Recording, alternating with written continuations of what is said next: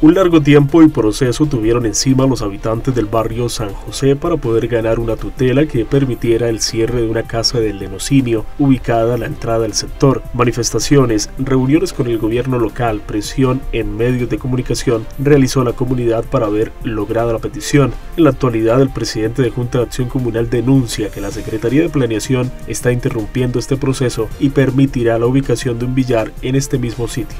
No entendemos cómo la alcaldía, cómo planeación va a dar un permiso a, bueno, a la persona que va a montar este negocio donde se peleó, hubo años de, de pelea por este sitio del enocinio. Ahora nos van a montar entonces un billar donde el billar van a montar mujeres, porque en el billar van a colocar mujeres a atender y, y, peor van a colocar ventas de licor.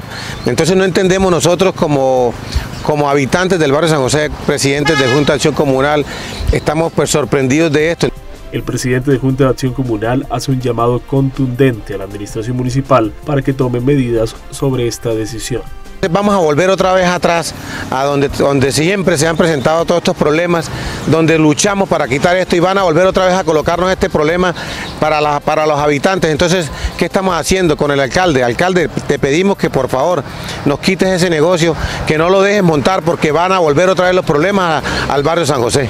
La comunidad ha manifestado que si esta medida se da, serán los mismos habitantes quienes cerrarán la vía para que la tranquilidad del sector se respete y se haga cumplir la tutela.